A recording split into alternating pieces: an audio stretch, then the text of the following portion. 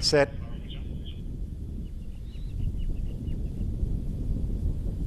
About to jump. Aussie Pharaoh, the middle. Ready and racing. Final response began well out wide with Aussie Pharaoh, which looks for the early lead from Victory Salute. They were followed next up in the race. We had Sala Cell. Underneath it was Shelf. Wide on the track going forward is Charteris. Towards the Taylor's Beach Party, extremely frilly and Apollo Joss.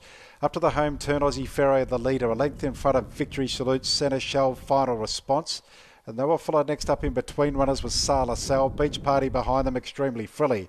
Around the home turn, Victory Salute looms up to Aussie Pharaoh, but Aussie Pharaoh kicks at the 225. Aussie Pharaoh asks for an effort, it responds. Back to the inside centre, Shell. Victory Salute, late Sala Sal.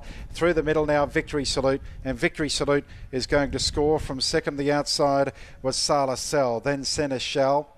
Aussie Pharaohs ran third in front of Shell. Then extremely frilly wide on the track.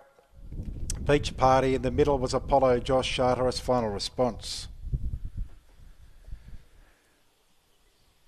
Victory Salute is first, number nine, for Alysha Collett and Annabelle Neesham. Nine.